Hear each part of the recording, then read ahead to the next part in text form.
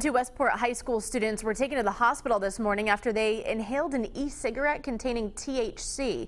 According to Westport police, first responders were called to the school for a student displaying, quote, erratic and violent behavior to the point he had to be restrained. School administrators learned several students had inhaled an e-cigarette containing THC, the main ingredient in cannabis, as well as some nicotine.